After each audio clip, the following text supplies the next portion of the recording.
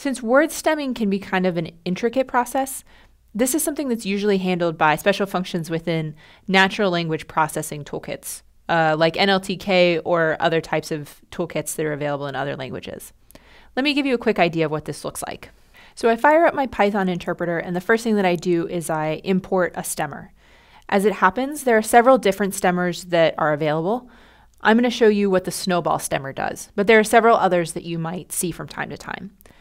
So this happens to be the command for importing the snowball stemmer, so I'll go ahead and do that. I just found this on an example on the internet, and that usually takes a second or two.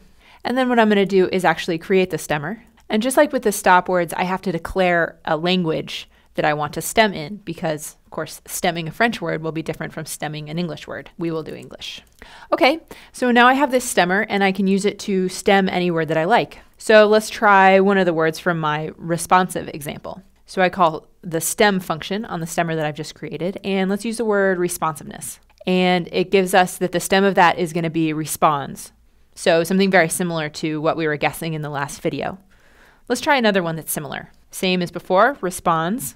And now I've added a prefix to it, unresponsive. So it means the opposite of responsive, but we're still talking about the concept of whether something is responsive or not. So we should get the same stem still. We can also see that there are certain limitations to this particular stemmer.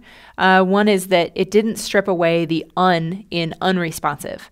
And maybe that's something that you want. Maybe you want to be preserving the information that something that's responsive and something that is unresponsive are not exactly the same thing. Maybe all you care about is just the idea that something could be responsive. So there can be a little bit of, of fine tuning here to figure out exactly how you want to run it. But in general, when you're applying a stemmer, it's going to clean up the vocabulary of your corpus a lot. It's going to take something that can be very, very complicated. You have your tens of thousands of dimensions um, that correspond to all the words in the language, and it makes something that's much more compact. You'll get a chance to play with this in the mini project at the end of the lesson.